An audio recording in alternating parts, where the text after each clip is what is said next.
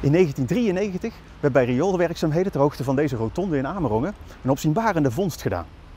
Er werd namelijk een flink stuk ijzer gevonden, helemaal verroest, maar al vrij snel werd duidelijk dat het een zwaard was. En niet zomaar een zwaard, een vroeg middeleeuws zwaard uit de 8e eeuw na Christus. Dat is eigenlijk een periode waar we nog niet zo heel veel van weten. En ook werd al vrij snel het idee geopperd dat het hier om een vroegmiddeleeuws grafveld zou gaan. Maar ja, heel zeker wisten we dat niet, want ja, we hadden geen graf gevonden. Tot nu. Precies 30 jaar later is door een inwoonster uit Amerongen de meest opzienbarende vondst van de afgelopen jaren gedaan. En het wordt eigenlijk alleen nog maar spannender. Dus ga mee in het eerste deel van de serie over de Amerongse vondst. Dit wordt heel leuk.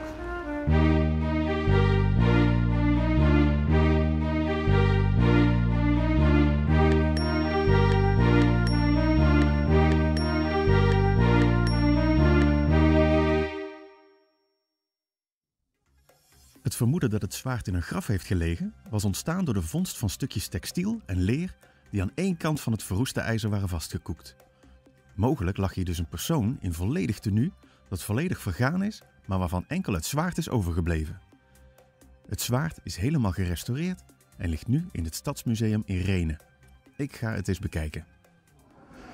Kom even mee, want hier hangt hij. Het zwaard uit Amerongen. Wat een enorm ding, hè? bijna een meter lang. En je ziet hier aan de zijkant heel goed die snijvlakken. En in het midden de zogenaamde bloedgeul. En het handvat is van hout geweest, want er zijn bij de vondst ook stukjes vermolmd hout gevonden, maar dat is nu verdwenen. En als dit zwaard bij een vroegmiddeleeuws grafveld heeft gehoord, dan hebben we dus nu eigenlijk te maken met het missende grafveld. We kennen een vroegmiddeleeuws grafveld uit Leersum, uit Elst en uit Renen. Maar in Amerongen zat nog een soort van wak. En daar is nu verandering in gekomen door de vondst van Annemieke Huibers. En die ga ik eens een paar vragen stellen. Ik spreek Annemieke via een WhatsApp-verbinding. Wat dacht je wat het eigenlijk was toen je dat vond? Nou, ik dacht dat het een, een granaat of een bom was uit de Tweede Wereldoorlog. Omdat het dus een heel. Uh, de bovenkant zag er een beetje rond uit. En ik kon niet gelijk plaatsen wat het was. En vrij snel was duidelijk van dat het dus een pot was. Ja. Uh, en uh, ik zag natuurlijk wel gelijk dat er iets in zat. Ja. Helaas was er ook iets, uh, ja, door uh, het eruit halen, was er ook iets uit de inhoud gevallen, of uit de pot. ja, het zat heel ver in mijn gedachten. Er zat een, een, een, link van, volgens mij, als je zoiets ooit zou vinden, omdat ik dat ooit een keer gehoord had, moet je daar melding van maken.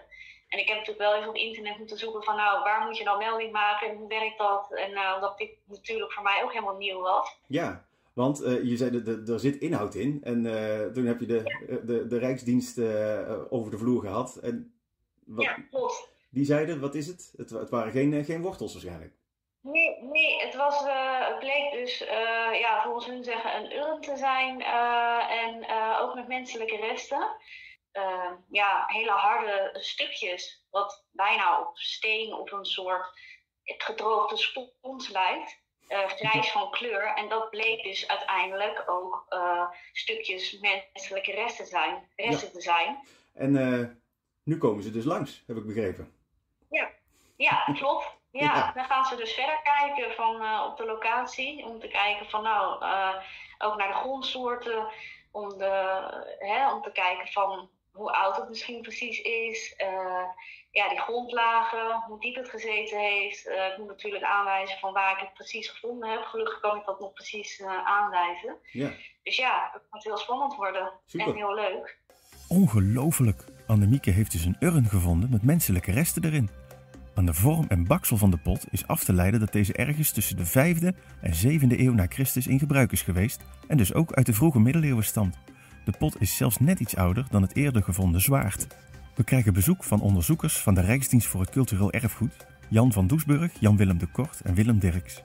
Ze komen de vindplaats inmeten, de eventuele grafkuil opzoeken en ook gaan ze na of er nog stukjes van de urn en het verbrande bot zijn achtergebleven. Al gauw worden de eerste stukjes verbrand bot aangetroffen. Kleine stukjes menselijk bot die door de verbranding wit-grijs zijn verkleurd. Maar onverwacht worden ook fragmenten van een ander type aardewerk gevonden vermoedelijk van een geverfde beker uit de Romeinse tijd, ongeveer uit de derde of vierde eeuw na Christus. Maar dan gebeurt dit. Het zit net op zijn randje. Tik hem net aan. Wijs me eens aan. Dit hier zo, hier zo. Tik hem aan. Ah joh, Dus nee deze hebben we helemaal toch. compleet. Oh joh, wat goed. Slechts enkele centimeters van de eerste urn wordt een tweede pot van hetzelfde type aardewerk gevonden. Is het weer een urn? Er liggen wat stukjes verbrand bot bovenin de vulling. Maar de metaaldetector verraadt dat er ook iets van metaal in zit. De tweede pot wordt voorzichtig vrijgegraven en vervolgens uit de kuil getild. De vulling wordt er nog niet uitgehaald. Die zal later in het laboratorium van de Rijksdienst worden uitgegraven.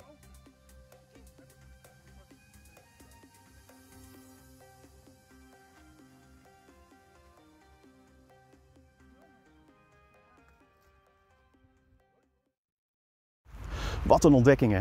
Niet één, maar zelfs twee urnen.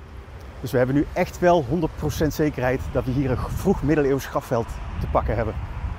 En nu is de vraag, wat zit er in die tweede pot? We weten het niet. Zit er metaal in? Zit er bot in? Eh, We hebben geen idee. Dus wat gaan we doen? We gaan hem minutieus uitpeuteren. En dat uitpeuteren is te zien in het volgende deel van deze serie. Hou het in de gaten. Tot de volgende keer.